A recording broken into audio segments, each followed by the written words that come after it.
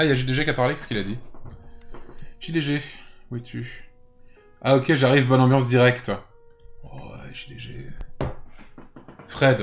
Alors écoute-moi bien, petit fils de pute. Toi, on va te ban. Tu vas te dégager. Tu vas te casser de là.